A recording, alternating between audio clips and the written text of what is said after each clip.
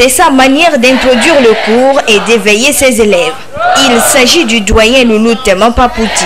Il enseigne le français au lycée Agoué Centre. Les élèves interrogés apprécient bien sa manière de dispenser les cours. Parfois, quand on fait le cours, il amène certaines distractions pour nous distraire un peu avant de continuer le cours. Et il nous donne aussi des citations qui peuvent nous servir dans nos rédactions.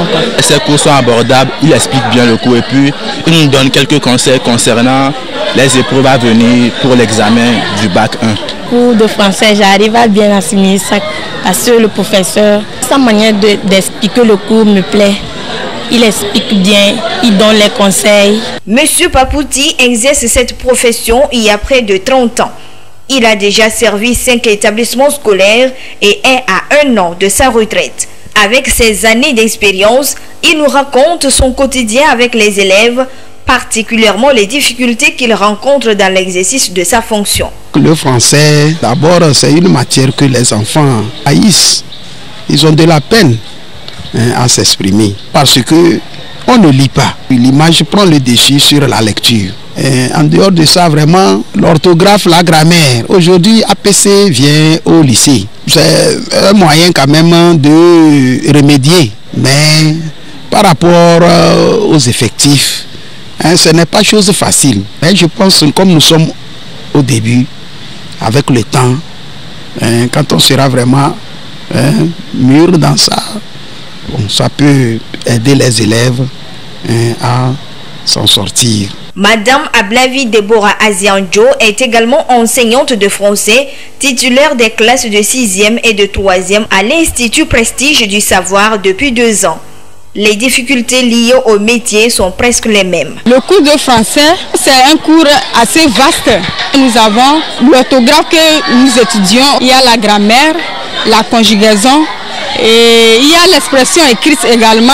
L'oral, il faut essayer d'apprendre aux élèves à parler. Nous avions constaté que le niveau est très bas et les élèves ne lisent plus. Lors de la rédaction, il n'y a pas ajustement des mots, plein, plein, plein de fautes et d'erreurs. Nous allons renforcer nos capacités quand même pour relever le défi. APC aussi nous aide beaucoup en tant qu'enseignant et aussi en tant qu'élève. C'est pour valoriser ce métier noble et encourager les enseignants de français que la journée internationale des professeurs de français a été instaurée il y a 4 ans et se célèbre chaque 24 novembre. Les défis aujourd'hui dans l'enseignement du français au Togo restent l'amélioration du niveau des élèves à travers la lecture, l'équipement des établissements scolaires en matériel didactique. C'est une doléance à l'État en ce qui concerne les privés comme les publics, une ouverture de la bibliothèque au sein des établissements afin que les élèves, les samedis, nous allons les motiver à aller faire les recherches. L'art oratoire, nous voulons faire ça dans les écoles privées afin que les élèves puissent lire, faire la lecture devant les autorités ou bien devant euh, une situation qui s'est présentée. Il faut qu'ensemble, qu'on crée aussi des clubs de littérature, de lecture, de théâtre. Et comme le monde devient de plus en plus informatique, je pense euh, aider les élèves à mieux utiliser les outils informatiques. Les professeurs aussi, il faut avoir euh, l'outil informatique, qu'on trouve mieux la manière euh, d'enseigner, les laisser faire et les accompagner. Tête bien faite vaut mieux que tête bien pleine. Les parents sont aussi appelés à jouer leur rôle pour la réussite des enfants en français, une matière incontournable pour réussir les autres matières au programme. Que je respecte. Je ne mange pas de n'importe quoi. La phytothérapie dans le domaine de la médecine traditionnelle désigne le traitement des maladies par des plantes. En Afrique, plusieurs sont ces personnes qui font recours aux extraits de plantes ou aux substances naturelles pour guérir, soulager ou encore pour prévenir une maladie. Saliou Kafayatou est dans ce domaine depuis plusieurs années et s'est spécialisé dans le traitement des pathologies touchant le foie et les organes de reproduction. Ici, le diagnostic est tout particulier. Tout ce qu'on a comme au niveau du tronc ou dans notre organe de reproduction, Les lieux là où se situe l'œil est au niveau de nos doigts. Tout ce que l'être met en dur, c'est-à-dire des chevelus jusqu'aux orteils comme mots, nous arrivons à les détecter par ses propres veines. Même s'il avait eu des infections passées qui ne se sont pas affichées par les propres veines de ce dernier, on pourrait détecter les infections qu'il en avait et qui développent aujourd'hui plusieurs mots en lui. Souvent rejeter les mots que vous entendez, les noms qu'on donne aux mots là, pour pouvoir vivre longtemps. Quand on te dit tu as le diabète, c'est les soucis là qui te tuent. Tu as et tension, c'est ça qui te tue. Mais quand tu enlèves ça de ta tête que et vous venez vers nous, on vous donne les moyens, comment vous en sortir? En dehors même de prendre les produits. J'ai suivi aussi une formation en Inde, j'ai fait la science et non la magie. La phytothérapeute utilise des racines, des feuilles et bien d'autres extraits des plantes médicinales pour produire ses potions et médicaments. Nous avons ici pour les choses fils, les infections essentiellement transmissibles aussi. À base de vos veines, on peut détecter comment vos l'ovulation évolue, ou c'est moins, ou c'est un peu. Au niveau de la faiblesse sexuelle et au niveau de l'ovulation des nerfs, donc homme comme femme peuvent prendre le baromètre pour se sauver. Même ceux qui ont les problèmes de fièvre typhoïde, nous avons les produits contre ces maux-là. La première des choses dans notre ONG, c'est un produit laxatif qui élimine les mauvaises cholestérol, qui désintoxique le foie, qui nettoie entièrement le tube digestif, qui vous rend le corps sain et souple. Et aussi, vous nettoie tout ce qui est négatif en vous. Ce patient en a fait l'expérience. La pharmacopée africaine ou traditionnelle sort peu à peu de son obscurité. C'est dire que de nos jours, l'efficacité de certains produits thérapeutiques est reconnue par des scientifiques, bien évidemment après des essais cliniques.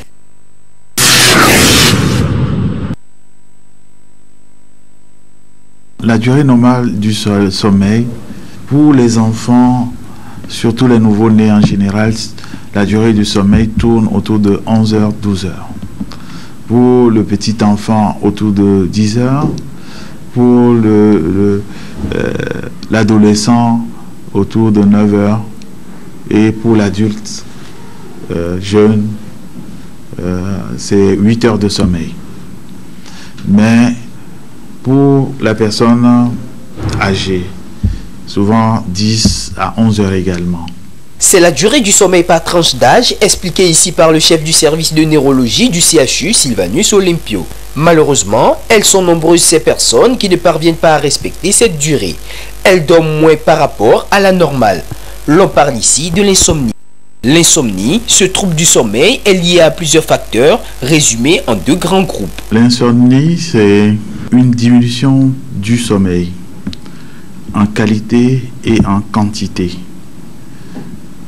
euh, de manière à ce que ça perturbe euh, le sommeil réparateur. Il y a deux grands groupes de facteurs. Le premier groupe, ce sont des maladies d'ordre psychologique l'anxiété, le stress, certaines maladies psychiatriques qui vont euh, entraîner une insomnie le plus souvent. Et le deuxième groupe, c'est souvent lié à certaines maladies organiques. Notamment, vous savez que vous êtes malade, vous avez une maladie qui donne la douleur. Euh, c'est difficile pour vous d'accepter cette maladie. Ça vous stresse également et donc cela va amener euh, à développer une insomnie. Et lorsque des mesures idoines ne sont pas prises, l'insomniaque s'expose à des complications. Des problèmes liés, les troubles de mémoire, surtout qui vont perturber la vie sociale, la vie relationnelle. Cela va entraîner des oublis, euh, des troubles de la mémoire importants, l'irritabilité qui va perturber l'environnement. Mais lorsqu'on dort mal aussi, on est à risque de faire des accidents lorsqu'on conduit une moto ou bien euh, un véhicule. Lorsqu'on ne dort pas bien, ça peut nous entraîner dans certaines maladies psychiatriques qu'on va décompenser. Avoir des difficultés à dormir n'est pas sans conséquence sur la vie de la personne. Pour prévenir cette anomalie, voici quelques conseils pratiques. Pour bien dormir, euh, il faut éviter de se retrouver dans des situations euh, qui entraînent le stress, l'angoisse. Il faudra éviter la consommation de boissons alcoolisées, euh, et de certaines boissons contenant des excitants comme le café. Et puis, il est également recommandé d'avoir une chambre bien positionnée, bien aérée, d'avoir une literie un lit bien fait avec un matelas euh, qui, qui, est bien et cela nous permet d'être à l'aise lorsqu'on est couché et de bien dormir et surtout éviter qu'il y ait une pollution sonore tout autour de l'endroit où nous dormons. Éviter l'automédication en cas d'insomnie ou toute autre maladie et consulter son médecin au besoin pour éviter toute surprise désagréable.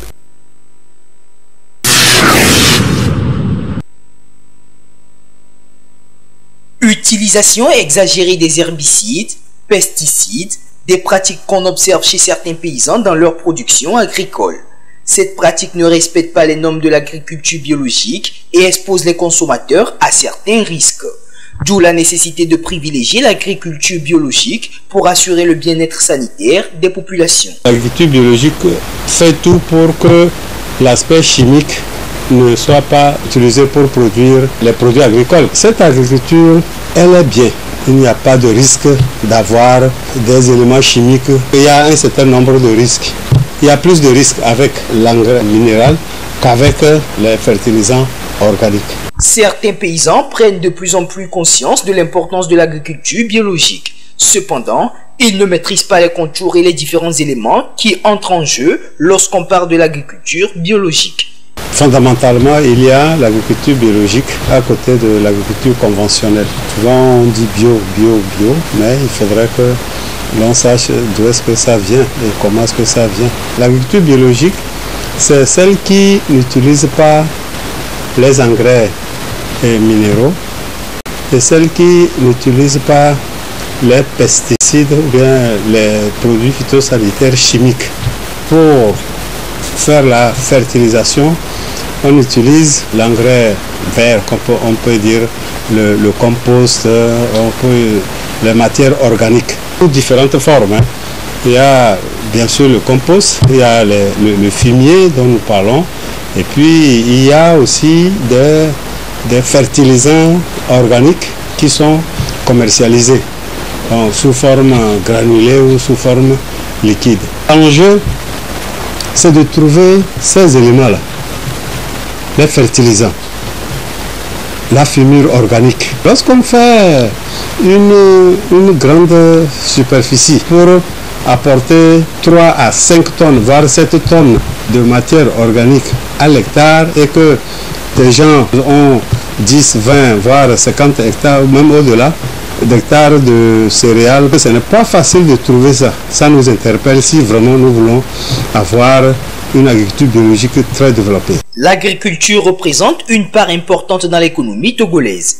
Entreprendre des initiatives pour son développement permettra d'assurer l'autosuffisance alimentaire et des actions devront également être menées pour encourager et promouvoir l'agriculture biologique.